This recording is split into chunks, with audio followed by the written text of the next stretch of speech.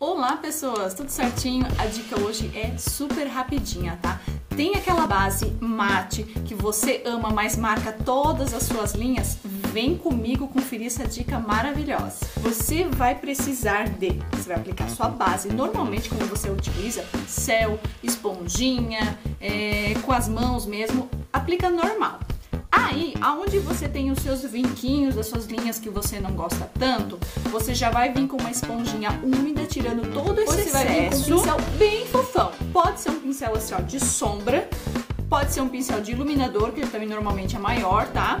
É, não, hoje eu não vou recomendar o pincel ou de pó ou de blush, tá? Vou recomendar esse tipo aqui mais específico, porque você vai aonde tá aquele pontinho que você não gosta. preferência, de preferência pó solto, tá, gente? Que o pó compacto ele é mais é, ele marca mais, né? Então tenta usar um pozinho solto.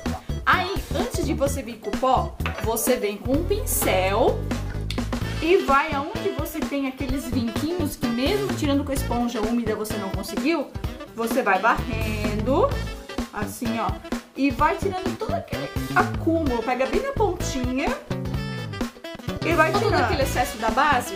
Agora você vem com o pozinho, ó, xuxa aqui no pozinho, tá vendo?